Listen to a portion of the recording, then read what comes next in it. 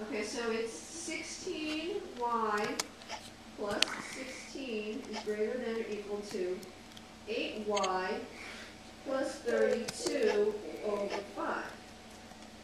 How do you get rid of 5? Okay. So 5 times 16y plus 16 is greater than or equal to 8y plus 32. What's 5 times 16? Y plus ninety is greater than or equal to eight y plus thirty-two. Subtract eight